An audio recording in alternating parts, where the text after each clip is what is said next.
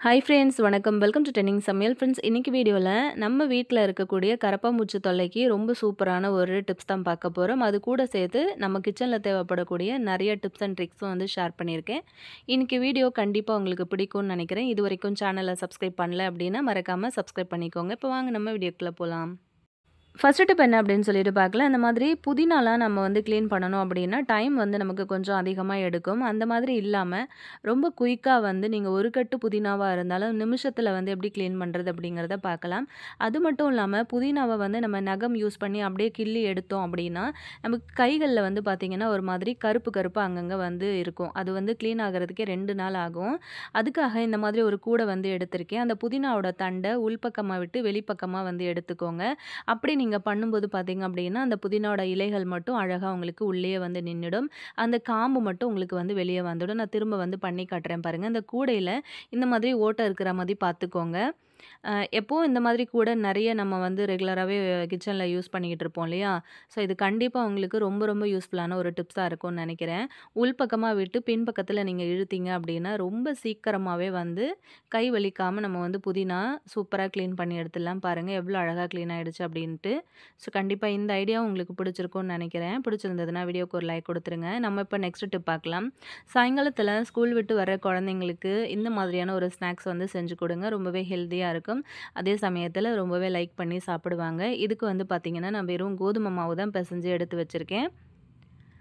இந்த மாதிரி இப்போ நான் வந்து தேய்க்கிறேன் இல்லையா? இந்த மாதிரி ஒரு ஷேப்பில் வந்து தேய்ச்சி எடுத்துக்கோங்க. அதுக்கப்புறம் ஒரு கத்தி வந்து யூஸ் பண்ணி நடுவில் ஃபஸ்ட்டு ஒரு ரெண்டாக கட் பண்ணிக்கலாம். அதுக்கப்புறம் இப்போ நான் வந்து கட் பண்ணுற மாதிரி கட் பண்ணிக்கோங்க.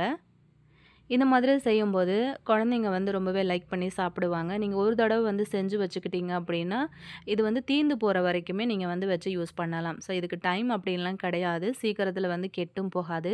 சாப்பிட்றதுக்கு நல்ல டேஸ்ட்டாக இருக்கும். இப்போ வந்து ஒரு பென்சில் எடுத்துகிட்டு அந்த ஒரு கார்னர் பகுதியிலேருந்து அப்படியே இந்த மாதிரி சுற்றி சுற்றி அப்படியே எடுத்துகிட்டே வாங்க. அதுக்கப்புறம் லைட்டாக பென்சிலை மட்டும் வெளியே எடுத்துட்டிங்க அப்படின்னா உங்களுக்கு இந்த மாதிரி ஒரு ஷேப்பில் கிடைக்கும். அதாவது பூ மாதிரி ஒரு ஷேப்பில் கிடைக்கும். பார்த்திங்கன்னா உங்களுக்கு தெரியும். அதை அப்படியே எடுத்துகிட்டு போயிட்டு நம்ம கொதிக்கிற எண்ணெயில் வந்து போட்டுக்கலாம். இதை வந்து கட் பண்ண ஆரம்பிக்கும் போதே நான் அந்த மாதிரி கடாயில் கொஞ்சம் எண்ணெய் வந்து அடுப்பில் வந்து வச்சுருந்தேன். ஸோ நல்லா சூடாயிடுச்சு. இந்த மாதிரி வந்து கலர் மாறி வர்ற வரைக்கும் நல்ல முருகலாக பொரித்து எடுத்துக்கோங்க. இதே மாதிரி நம்ம எல்லாத்தையுமே பொரித்து எடுத்துக்கலாம். சின்ன சின்னதாக நீங்கள் வந்து அந்த மாதிரி பண்ணி போடும்போது ரொம்பவே ஈஸியாக இருக்கும். பென்சில் அப்படி இல்லைன்னா பென் வந்து அதை ரோல் பண்ணுறதுக்காக யூஸ் பண்ணிக்கோங்க. இந்த மாதிரி வந்து அடிக்கடி செஞ்சு கொடுத்தீங்க அப்படின்னா குழந்தைங்களும் ரொம்பவே லைக் பண்ணி சாப்பிடுவாங்க. பாருங்கள் நல்லா சின்ன சின்னதாக நான் வந்து பூ மாதிரி பண்ணி போட்டிருக்கேன். நல்லாவே வந்து ஃப்ரை ஆகி வந்துடுச்சு. அது தனியாக வந்து எடுத்து வச்சுக்கலாம். இப்போ ஒரு அரை டம்ளர் அளவுக்கு தண்ணியை வந்து கொதிக்க வச்சுருக்கேன். தண்ணி வந்து நல்லா நுரக்கட்டி கொதித்து வரும்போது இப்போ ஒரு கால் கப் அளவுக்கு சுகர் வந்து உள்ளுக்குள்ளே சேர்த்துக்கலாம். இது வந்து நல்ல ஒரு பாகுபதம் வரணும். அந்த சுகர் எல்லாமே நல்லா கரைஞ்சிட்டு கொஞ்ச நேரத்தில் அது பாகுபாதம் வர வரைக்கும். இப்போ இது வந்து நம்ம ஆற வச்சுருந்தோம் இல்லையா? அது பார்த்திங்க அப்படின்னா உங்களுக்கு தெரிஞ்சிருக்கும்னு நினைக்கிறேன். இப்போ அது கோதுமை மாவில் நம்ம வந்து செய்கிறதுனால நல்ல வாசமாக இருக்கும். சாப்பிட்றதுக்கு ரொம்பவே ஒரு டேஸ்ட்டாக இருக்கும். இப்போ இந்த மாதிரி உங்களுக்கு வந்து பூ ஷேப்பில் வரல அப்படின்னா நீங்கள் வந்து அப்படியே நீள நீளமாக கூட கட் பண்ணி கூட அதை அப்படியே வந்து பொறிச்சு எடுத்துக்கலாம். இப்போது அந்த ஒரு கம்பி பதம்னு சொல்லுவோம்ல அந்த மாதிரி ஒரு ஸ்டேஜ் வரும்போது நம்ம இதை வந்து உள்ளுக்குள்ளே கொட்டி நல்லா அந்த மாதிரி வந்து கலந்து விட்டுட்டே இருங்க. அடுப்பை வந்து ஹை ஃப்ளேம்லேயே வச்சுக்கோங்க. நல்லா அந்த பாகு வந்து பார்த்திங்க அப்படின்னா அந்த கோதுமை மாவுக்கு உள்ளே போயிட்டு நல்லா அப்சர்வ் ஆகும். அப்போ தான் அது சாப்பிடும்போது நல்லா ஸ்வீட்டாக இருக்கும். அதே சமயத்தில் நல்லா மொறு மொறுன்னு இருக்கும். அந்த பாகு வந்து நல்லா சுண்டி வர்ற வரைக்கும் நான் அப்படியே வந்து விட்டுட்டேன்.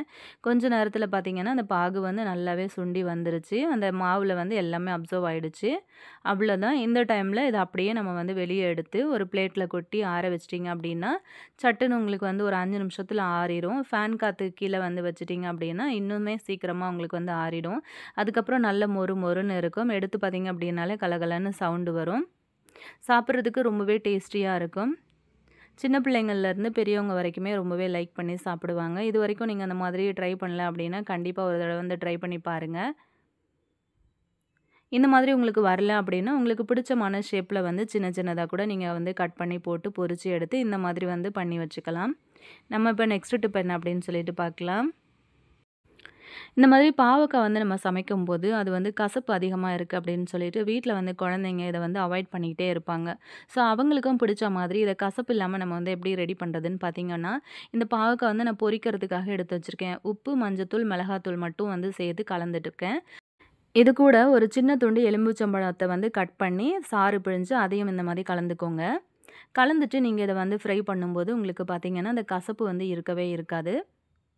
ரொம்ப கசப்பாக இருக்கிற பாவக்காயாக இருந்தாலும் நீங்கள் இந்த மாதிரி ட்ரை பண்ணலாம். டைம் இருந்தது அப்படின்னா, அந்த எலுமிச்சம்பழ சாறை வந்து கலந்துட்டு கொஞ்சம் நேரம் நீங்கள் அதை வந்து ரெஸ்ட்டில் விட்டுடலாம் டைம் இல்லை அப்படின்னாலும் உடனே நீங்கள் வந்து பொரிக்கிறதா இருந்தாலும் இந்த மாதிரி வந்து பொரித்து எடுத்துக்கலாம். சாப்பிட்றதுக்கு ரொம்ப டேஸ்ட்டாக இருக்கும். அதே சமயத்தில் உங்களுக்கு வந்து கசப்பும் இருக்காது. பாவக்காய் தொக்கெல்லாம் பண்ண போகிறீங்க அப்படின்னா, இந்த மாதிரி பண்ணி நீங்கள் ஃப்ரை பண்ணி எடுத்ததுக்கப்புறம் தொக்கில் சேர்த்து பாருங்கள் டேஸ்ட் இன்னுமே அல்டிமேட்டாக இருக்கும். நம்ம இப்போ நெக்ஸ்ட்டு பார்க்கலாம். ஃப்ரிட்ஜில் வைக்காமல் நம்ம வந்து வாங்கிட்டு வர தக்காளியை ரொம்ப நாளைக்கு அது சுருங்கி போகாமல் அழுகி போகாமல் எப்படி வந்து சேஃபாக நம்ம வந்து வெளியிலேயே ஸ்டோர் பண்ணுறது அப்படிங்கிறத பார்க்க போகிறோம் இப்போ பார்த்திங்கன்னா இது வந்து இப்போ தான் வாங்கிட்டு வந்த தக்காளி. ஸோ இதை வந்து நம்ம எப்படி க்ளீன் பண்ணிவிட்டு நம்ம எடுத்து வைக்கலான்னு பார்க்கலாம். இந்த தக்காளி வந்து பார்த்திங்க அப்படின்னா, ஆல்ரெடி நான் வந்து ஃப்ரிட்ஜில் ஸ்டோர் பண்ணி வச்சுருந்தது ஸோ பார்த்தீங்கன்னா, ஃப்ரிட்ஜில் நம்ம வந்து வைக்கும்போது அதோட தோல் எல்லாம் சுருங்கி ஒரு மாதிரி காஞ்சு போயிடுது. அந்த மாதிரி வைக்கும்போது நல்லா இருக்கிற தக்காளி கூட பார்த்திங்க அப்படின்னா, சீக்கிரத்துலேயே வந்து கெட்டு போயிடும். இப்போ இப்போ இதுக்காக நம்ம என்ன பண்ணலான்னு பார்த்தீங்கன்னா, ஒரு பெரிய பாத்திரத்தில் தண்ணி எடுத்திருக்கேன். ஒரு ஸ்பூன் அளவுக்கு வினிகர், ஒரு ஸ்பூன் அளவுக்கு வந்து உப்பு சேர்த்துருக்கேன் அது கூட வந்து அரை ஸ்பூன் அளவுக்கு மஞ்சத்தூள் வந்து சேர்த்துருக்கேன் சேர்த்து நல்லா வந்து இந்த தண்ணியில் மிக்ஸ் ஆகிற மாதிரி கலந்து விட்டதுக்கு பிறகு, நம்ம எடுத்து வச்சிருக்கிற தக்காளியை எல்லாத்தையும் உள்ளே சேர்த்துக்கோங்க. கண்டிப்பாக வந்து வினிகர் சேர்த்துக்கோங்க. வினிகர் இல்லை அப்படின்னா, எலுமிச்சம்பழம் சாறு வந்து பாதி பிழிஞ்சு சேர்த்துக்கோங்க. இதில் ஒரு அஞ்சு நிமிஷம் அப்படியே அந்த தக்காளியை நல்லா தண்ணியில் முக்கி கொஞ்ச நேரம் அப்படியே வந்து ஊற விட்டுருங்க. கை வச்சு நல்லா இந்த மாதிரி கசக்கி கொடுத்துருங்க அதுக்கப்புறம் வந்து இந்த மாதிரி கொஞ்சம் கொஞ்சமாக வந்து தேய்ச்சி கழுவிட்டு, அதுக்கப்புறம் அந்த மாதிரி ஒரு கூடையில் நம்ம இதை வந்து எடுத்து வச்சுக்கலாம். இந்த மாதிரி வந்து நீங்கள் செஞ்சதுக்கப்புறம் இந்த தக்காளியை வந்து யூஸ் பண்ணீங்க அப்படின்னா, வெளியிலேயே வந்து வச்சுருந்தாலுமே ஒரு வாரம் 10 நாள் வரைக்குமே உங்களோட தக்காளி வந்து நல்ல ஃப்ரெஷ்ஷாகவே இருக்கும். ஃப்ரிட்ஜ் இல்லாதவங்க கூட கண்டிப்பாக இந்த ஐடியா வந்து யூஸ் பண்ணி பாருங்கள் நல்லா வாஷ் பண்ணி எடுத்ததுக்கப்புறம் ஒரு கிளாத்து வச்சு தொடச்சி விட்ருங்க அவ்வளோதான் ரொம்ப சூப்பராக ரெடி ஆகிடுச்சு நெக்ஸ்ட் டிப் பார்க்கலாம். நம்ம வீடுகளில் நமக்கு ரொம்பவே தொந்தரவு அதிகம் கொடுக்கக்கூடிய இந்த கரப்பாம்பூச்சியை வந்து எப்படி நம்ம கிராம்பு வந்து யூஸ் பண்ணி அதை வந்து விரட்டி அடிக்கலாம் அப்படிங்கிறத பார்க்கலாம். இந்த மாதிரி வந்து ஒரு 7, 8 கிராம்பு வந்து நான் எடுத்திருக்கேன். இதை வந்து ஒரு சின்ன பவுலில் வந்து சேர்த்துக்கோங்க. கொஞ்சமாக தண்ணி சேர்த்து இதை வந்து ஒரு ஒரு மணி நேரம் நீங்கள் அப்படியே விட்டுட்டீங்க அப்படின்னா, அந்த கிராம்போட அந்த எசன்ஸ் எல்லாம் அந்த தண்ணியில் இறங்கி அதோட கலரே வந்து பார்த்திங்க அப்படின்னா, ஒரு மாதிரியாக சேஞ்ச் ஆகிடும் அந்த மாதிரி சேஞ்ச் ஆனதுக்கப்புறம் அந்த தண்ணியை வந்து ஃபில்டர் பண்ணி மற்ற ஒரு ரெண்டு பொருள் நம்ம வந்து சேர்க்க போகிறோம் அந்த மாதிரி நீங்கள் ட்ரை பண்ணலாம். அப்படி இல்லை டைம் இல்லை அப்படின்னா, டைரெக்டாக நீங்கள் வந்து இந்த மாதிரி மிக்ஸி கப்பில் வந்து சேர்த்துக்கிட்டு கொஞ்சமாக தண்ணி சேர்த்து நல்லா நைஸாக வந்து அரைச்சு எடுத்துகிட்டு வந்துடுங்க ரெண்டு விதமாக நம்ம வந்து யூஸ் பண்ணிக்கலாம் இந்த கிராம்பை இப்போ வந்து பார்த்திங்கன்னா அரைச்சு எடுத்துகிட்டு வந்துட்டோம்ல, அதை வந்து இந்த மாதிரி ஒரு ஃபில்டர் யூஸ் பண்ணி நல்லா ஃபில்டர் பண்ணி எடுத்துக்கோங்க. தேவைப்படுச்சு அப்படின்னா, கொஞ்சமாக வந்து எக்ஸ்ட்ரா தண்ணி வந்து கலந்து அதை வந்து ஃபில்டர் பண்ணி எடுத்துக்கோங்க. இப்போ இதில் வந்து பார்த்தீங்கன்னா, ஒரு அரை ஸ்பூன் அளவுக்கு பேக்கிங் பவுடர் வந்து சேர்த்துருக்கேன் அது கூட வந்து கொஞ்சமாக பேஸ்ட் வந்து சேர்த்துக்கோங்க. பேக்கிங் பவுடர் இல்லை அப்படின்னா, நம்ம இட்லிக்கு போடுவோம் இல்லையா? இட்லி சோடா தூள் அது வந்து சேர்த்துக்கோங்க. கொஞ்சமாக பேஸ்ட் வந்து சேர்த்துக்கிட்டு நல்லா அதை வந்து கலந்து விட்டுட்டு, இந்த மாதிரி இன்னொரு ஃபில்டர் வந்து யூஸ் பண்ணி இதையும் வந்து ஃபில்டர் பண்ணி எடுத்துக்கலாம். இதை அப்படியே வந்து ஒரு ஸ்ப்ரே பாட்டிலில் நம்ம சேர்த்துடலாம் இப்போ சூப்பராக இந்த ஸ்ப்ரே வந்து நமக்கு ரெடி ஆகிடுச்சு இதை யூஸ் பண்ணி தான் இன்றைக்கி நம்ம இந்த கரப்பான்பூச்சி தொல்லைக்கு சூப்பராக இதை வந்து நம்ம யூஸ் பண்ண போகிறோம் நம்மளோட கிச்சனில் வந்து பார்த்தீங்க அப்படின்னா, ராத்திரி நேரங்களில் இந்த கவுண்டர் டாப்பில் அடுப்புக்கு கீழே அடுப்புக்கு மேலே அப்படின்னு சொல்லிட்டு, இந்த கரப்பாம்பூச்சியாக இருந்தாலும் சரி, பள்ளியாக இருந்தாலும் சரி, நிறைய அங்கங்கே வந்து சுற்றிட்டே இருக்கும். ஸோ அதுக்காக தான் நம்ம இன்றைக்கி ரெடி பண்ணியிருக்கோம். அது மட்டும் இல்லாமல் இந்த சிங்க் ஏரியாவில் எப்போவுமே வந்து பார்த்திங்க அப்படின்னா, கரப்பான்பூச்சி தொல்லை வந்து ரொம்ப ஜாஸ்தியாக இருக்கும் ராத்திரி நேரங்களில் அது மட்டும் இல்லாமல் நீங்கள் வந்து சாப்பாடு அதாவது இந்த சிங்கில் வந்து பார்த்திங்கன்னா பாத்திரங்கள்லாம் போட்டு வச்சுருக்கீங்க அப்படின்னா, ராத்திரி நேரங்களில் அந்த பாத்திரங்கள்லையும் வந்து ஏறி உட்காந்து அது ஏதாவது சாப்பாடு இருந்ததுன்னா வேணாலும் சாப்பிடும். ஸோ எப்போவுமே வந்து ராத்திரி கிச்சன் கிளீன் பண்ணிவிட்டு நீங்கள் படுக்கிறீங்க அப்படின்னா, இந்த மாதிரி வந்து ட்ரை பண்ணுங்க. நம்ம ரெடி பண்ணி எடுத்த ஸ்ப்ரேயை அந்த மாதிரி எல்லா இடங்களையும் அடிச்சு விடுங்க. அடுப்புக்கு கீழே அடுப்புக்கு மேலே அப்படின்னு சொல்லிட்டு எல்லா இடங்களையும் நம்ம வந்து அடிச்சு விடலாம். இந்த கிராம்போட வாசனைக்கு கண்டிப்பாக கரப்பான்பூச்சி வந்து அந்த பக்கம் வந்து வரவே வராது. இது வந்து நல்ல ஒரு எஃபெக்டிவான ஒரு டிப்ஸு. அது மட்டும் இல்லாமல் அந்த சிங்க்குக்கு நடுவில் அதுக்கப்புறம் அந்த கீழே அந்த பைப்பு போகுது இல்லையா? அந்த இடத்துல எல்லாத்துலேயுமே வந்து இந்த தண்ணியை ஸ்ப்ரே பண்ணி விட்டுருங்க. நீங்கள் இதை ஸ்ப்ரே பண்ணி உங்களோட கிச்சன் கவுண்டர் டாப்பு, அடுப்பு கூட நீங்கள் வந்து க்ளீன் பண்ணலாம் நார்மலாகவே எப்போவுமே இந்த மாதிரி ஒரு லிக்விட் வந்து ரெடி பண்ணி வச்சுட்டு, நீங்கள் இந்த மாதிரி வந்து ரெகுலராக யூஸ் பண்ண ஸ்டார்ட் பண்ணிட்டீங்க அப்படின்னா, கண்டிப்பாக உங்களோட கிச்சனில் இந்த கரப்பாம்பூச்சி தொல்லை அப்படிங்கிறது இருக்கவே இருக்காது. ஒரு நாள் மட்டும் யூஸ் பண்ணிவிட்டு விடாமல் ஒரு ஒன் வீக்காவது தொடர்ந்து ட்ரை பண்ணி பாருங்கள் கண்டிப்பாக கரப்பாம்பூச்சியே வராது. அது மட்டும் இல்லாமல் இந்த லிக்விட் வந்து யூஸ் பண்ணி கிச்சனை வந்து துடைக்கும் போது ரொம்பவே நல்ல வாசமாக பளிச்சுன்னு இருக்கும். ட்ரை பண்ணி பாருங்கள் நெக்ஸ்ட்டு பார்க்கலாம். உங்கள் வீட்டில் இருக்கிற பசங்க வந்து ஒல்லியாகவே இருக்காங்க. எவ்வளோ தான் சாப்பாடு கொடுத்தாலுமே வந்து பசங்க ஒல்லியாகவே இருக்காங்க. வெயிட்டே போட மாட்டேங்குது அப்படின்னு நினச்சிங்கன்னா கண்டிப்பாக இந்த மில்க் ஷேக் வந்து ட்ரை பண்ணி பாருங்கள் என்னோடய பையனுக்கு நான் இதுதான் வந்து இப்போ ரீசெண்ட் டைமில் கொடுக்க ஆரம்பிச்சிருக்கேன். ஐம்பது கிலோலேருந்து ஐம்பத்தி ரெண்டு கிலோவுக்கு இப்போ தான் வந்து வந்திருக்கான். இது வந்து எப்படி ரெடி பண்ணுறதுன்னு பார்க்கலாம். இதுக்கு வந்து பார்த்திங்கன்னா நல்லா கனிஞ்சு பழுத்த செவ்வாழை வந்து எடுத்திருக்கேன். இது வந்து இப்போ ஒருத்தருக்கு செய்கிறதுனால ஒரு பாதி அளவுக்கு செவ்வாழை வந்து சேர்த்தோம் அப்படின்னா போதும். எப்போவுமே இந்த இது பண்ணுறீங்க இந்த ஷேக் வந்து பண்ணுறீங்க அப்படின்னா நீங்கள் கண்டிப்பாக வந்து செவ்வாழை யூஸ் பண்ணுங்கள் அதுதான் வந்து ரொம்பவே நல்லது. குழந்தைங்களுக்கு வந்து வெயிட் கெயின் ஆகிறதுக்கு இது ரொம்பவே ஹெல்ப் பண்ணும். ஒரு பாதி பழம் மட்டும் எடுத்திருக்கேன். அதை வந்து சின்ன சின்ன பீசஸாக கட் பண்ணி ஒரு மிக்ஸி ஜாரில் சேர்த்துக்கோங்க.